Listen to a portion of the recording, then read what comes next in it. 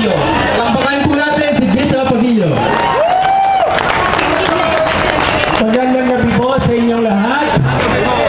Kami po ay nakikiisa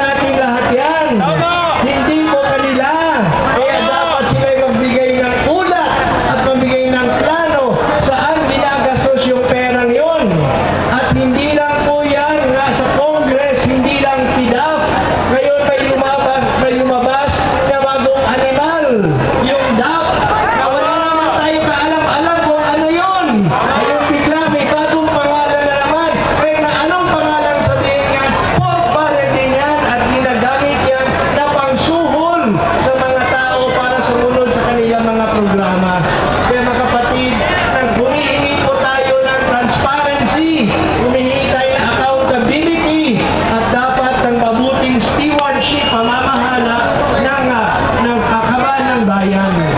Ako po ay sana wala rito. Ang dapat nandito nagsasalita ay si Bishop Makani.